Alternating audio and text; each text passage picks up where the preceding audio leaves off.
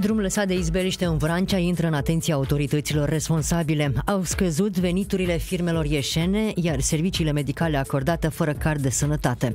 Sunt Loredana Țifachi, bun găsit la știrile Impact FM Regional.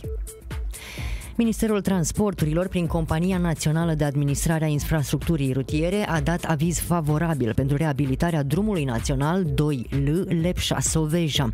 Pancarta cu drum închis între Lepșa și Soveja va deveni istorie, a transmis într-o postare pe Facebook Ion Ștefan, ministrul lucrărilor publice, dezvoltării și administrației.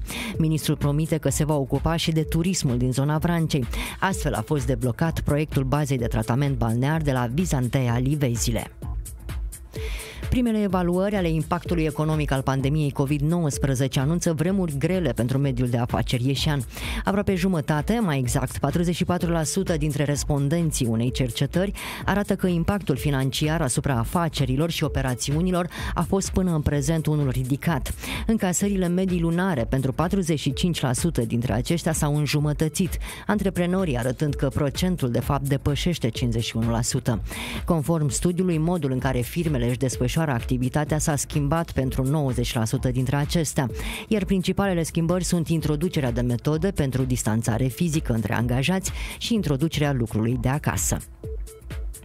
În următoarea perioadă nu mai este necesară utilizarea cardurilor de sănătate pentru diverse servicii medicale.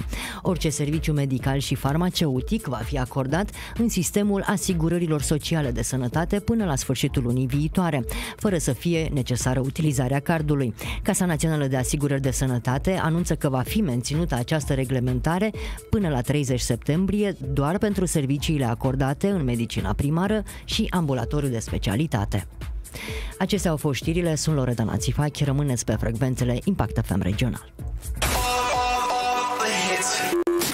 All the hits, one station, Impact FM.